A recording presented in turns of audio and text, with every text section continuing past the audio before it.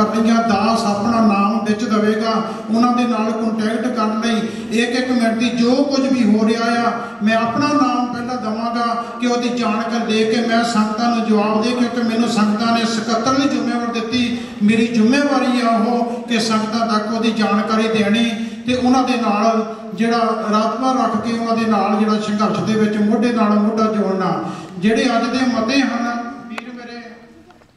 ਸਰਜੀ ਸਿੰਘ ਸਾਧ ਸੰਗਤ ਦੀ ਅੱਜ ਦਾ ਮਤਾ ਨੰਬਰ 1 ਪੰਜਾਂ ਤਖਤਾਂ ਦੇ ਜਥੇਦਾਰ ਮੰਨ ਚੁੱਕੇ ਹਨ ਕਿ ਜੋ ਸਿਰਸੇ ਵਾਲੇ ਸਾਧ ਦਾ ਮਾਫੀਨਾਮਾ ਪੰਥਕ ਸਿਧਾਂਤਾਂ ਮੁਤਾਬਕ ਨਹੀਂ ਹੋਇਆ ਸੀ,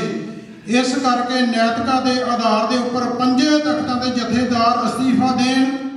ਅਤੇ ਸਰਬੱਤ ਖਾਲਸਾ ਸਿੱਖ ਸਿਧਾਂਤਾਂ ਦੇ ਪਹਿਰਾ ਦੇਣ ਵਾਲੇ ਯੋਗ ਅਤੇ ਕਾਬਲ ਜਥੇਦਾਰਾਂ ਦੀ ਨਿਯੁਕਤੀ ਕਰ ਸਕੇ ਜੀ।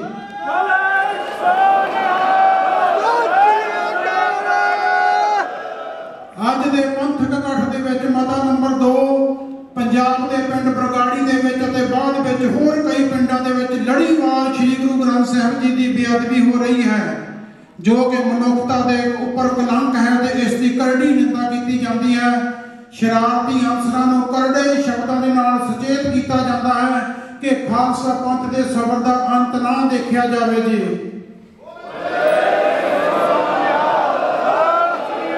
ਅੱਜ ਦੇ ਇਸ ਪੰਥਕ ਇਕੱਠ ਦੇ ਵਿੱਚ ਮਤਾ ਨੰਬਰ 3 ਸ੍ਰੀ ਗੁਰੂ ਗ੍ਰੰਥ ਸਾਹਿਬ ਜੀ ਦੀ ਹੋਈ ਬੇਅਦਬੀ ਅਤੇ ਸਤਕਾਰ ਨੂੰ ਮੁੱਖ ਰੱਖਦਿਆਂ ਰੋਸ ਵਜੋਂ ਸ਼ਾਂਤਮਈ ਧਰਨਾ ਦੇ ਰਹੇ ਤੇ ਸਿਮਰਨ ਕਰ ਰਹੀਆਂ ਸੰਗਤਾਂ ਤੇ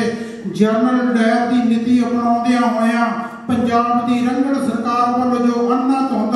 ਲਾਠੀ ਅਤੇ ਗੋਲੀ ਚਲਾਈ ਗਈ ਹੈ, ਸੰਗਤਾਂ ਨੂੰ ਥਾਣਿਆਂ ਦੇ ਵਿੱਚ ਲਿਜਾ ਕੇ ਤਸ਼ੱਦਦ ਕੀਤਾ ਗਿਆ ਹੈ। ਮਨੁੱਖੀ ਹੱਕਾਂ ਦੇ ਘਾਣ ਕਰਦੀ ਇਸ ਜਾਨਮਾਨਾ ਕਾਰਵਾਈ ਦੀ ਨਿੰਦਾ ਕੀਤੀ ਜਾਂਦੀ ਹੈ ਤੇ ਇਸ ਪੂਰੇ ਘਟਨਾਕ੍ਰਮ ਦੇ ਦੌਰਾਨ ਹੋਏ ਸ਼ਹੀਦਾਂ ਨੂੰ ਸਿੱਖ ਕੌਮ ਪ੍ਰਣਾਮ ਕਰਦੀ ਹੈ ਅਤੇ ਸ਼ਹੀਦਾਂ ਦੇ ਪਰਿਵਾਰ, ਜ਼ਖਮੀ ਹੋਏ ਸਿੰਘਾਂ ਤੇ ਉਹਨਾਂ ਦੇ ਪਰਿਵਾਰਾਂ ਦੀ ਹਰ ਪੱਖੋਂ ਮਦਦ ਕਰਨ ਲਈ ਵਚਨਬੱਧਤਾ ਦਰਸਾਉਂਦੀ ਹੈ।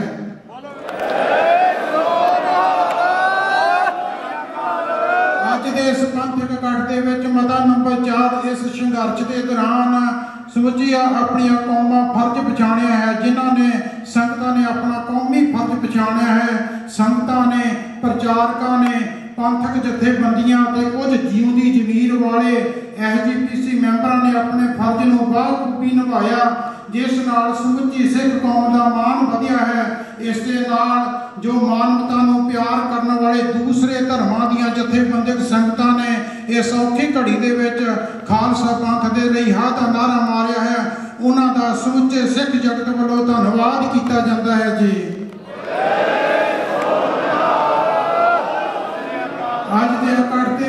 ਵਿੱਚ ਨੰਬਰ 5 ਪੰਥ ਦਰਦ ਰੱਖਣ ਵਾਲੀਆਂ ਸਮੁੱਚੀਆਂ ਜਥੇਬੰਦੀਆਂ, ਜਿਨ੍ਹਾਂ ਵਿੱਚ ਖਾਸ ਤੌਰ ਤੇ ਸ਼੍ਰੋਮਣੀ ਅਕਾਲੀ ਦਲ ਅੰਮ੍ਰਿਤਸਰ ਪੰਜ ਪ੍ਰਧਾਨੀ ਦਲਜੀਤ ਸਿੰਘ ਬਿੱਟੂ, ਦਲ ਖਾਲਸਾ ਅਤੇ ਹੋਰ ਪੰਥਕ ਦਰਦ ਰੱਖਣ ਵਾਲੀਆਂ ਜਥੇਬੰਦੀਆਂ ਨੂੰ ਪਰਜੋਰ ਕੈਨੇਡਾ ਦੀਆਂ ਵਿਦੇਸ਼ੀ ਸੰਗਤਾਂ ਦੇ ਵੱਲੋਂ ਅਸੀਂ ਅਪੀਲ ਕਰਦੇ ਹਾਂ ਕਿ ਇਸ ਮੌਕੇ ਤੇ ਪੰਥ ਦੇ ਉੱਪਰ ਆਈ ਹੋਈ ਅਤ ਨਾਜ਼ੁਕ ਸੰਕਟ ਨੂੰ ਮੁੱਖ ਰੱਖਦਿਆਂ ਹੋਇਆਂ ਇੱਕ ਮੰਚ ਦੇ ਉੱਪਰ ਇਕੱਠੇ ਹੋ ਕੇ ਅਗਵਾਈ ਕੀਤੀ ਜਾਵੇ ਜੀ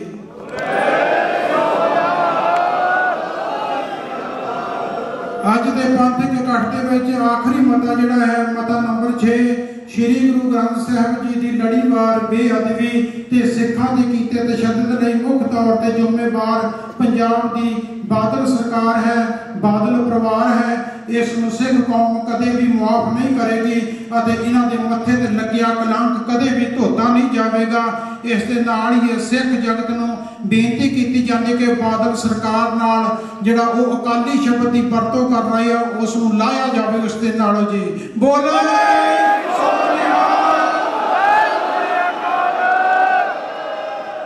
ਸੰਗਤ ਜੀ, ਇਹ ਮਤੇ ਦੇ ਨਾਲ ਦੀ ਨਾਲ ਹਰਭਜਨ ਸਿੰਘ ਜੀ ਅਟਵਾਲ